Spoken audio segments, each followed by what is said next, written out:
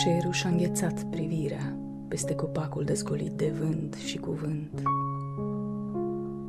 Privirea sticloasă se lasă grea printre degete răsfirate, înghețate de dor de iubire. Se agață de un vis de lumină lină, de vârfuri firave, și amurgul se adoarme agățat în ram.